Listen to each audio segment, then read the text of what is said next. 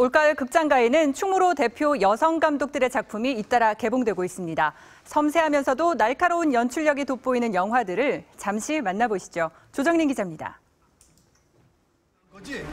2005년 황우석 스캔들을 소재로 한 영화 제보자. 충무로 대표 여성 감독 임순례 씨의 작품입니다. 배우 박해희 씨는 그녀의 러브콜에 시나리오도 보지 않고 출연을 결심했고 너무 기쁜 나머지 감정을 주체할 수 없이 그냥 바로 하겠습니다 라고 얘기했던 기억이 있습니다. 극장가 비성수기에도 170만 관객을 돌파하며 호평을 받았습니다. 최대한 그 쉽게 접근할 수 있도록 그런 부분을 좀 배려를 많이 했거든요. 그래서 편하게 좀 부담 없이 무겁지 않게 보시면서 또 한 명의 여성 감독 부지영. 흥행이 예고되는 카트를 연출했습니다. 대형마트의 비정규직 직원들이 부당 해고를 당한 후 이에 맞서며 벌어지는 이야기를 담았습니다.